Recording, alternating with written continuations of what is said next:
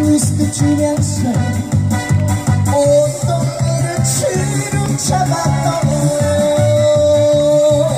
사랑했던 모든 사람들 잊지 못할 사랑의 트위스트 잊지 못할 성남의 트위스트